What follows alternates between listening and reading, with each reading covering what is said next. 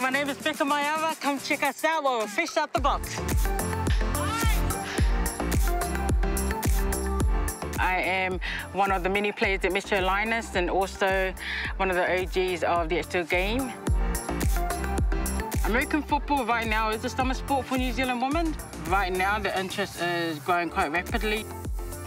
Metro Lioness was established back in the 1980s.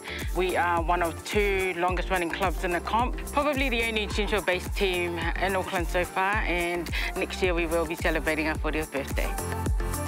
My name is Taylor Awana. I am 22 years old and I am Samoan Niuean.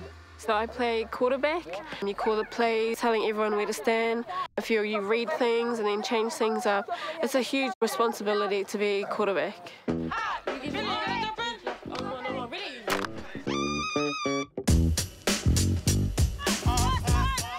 With other sports, you can like maybe take the ball yourself, but this one's actual team sport. Everyone needs to do their job, and if someone doesn't do their job, then the play doesn't happen.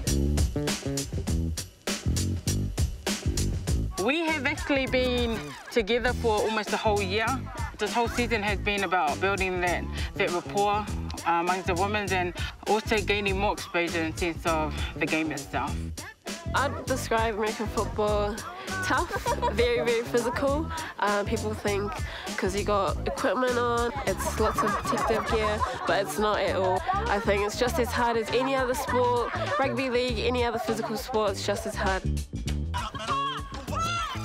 This is probably one of the fast-going sports away from the normal rugby and league. For our women's, hopefully one day we'll get there.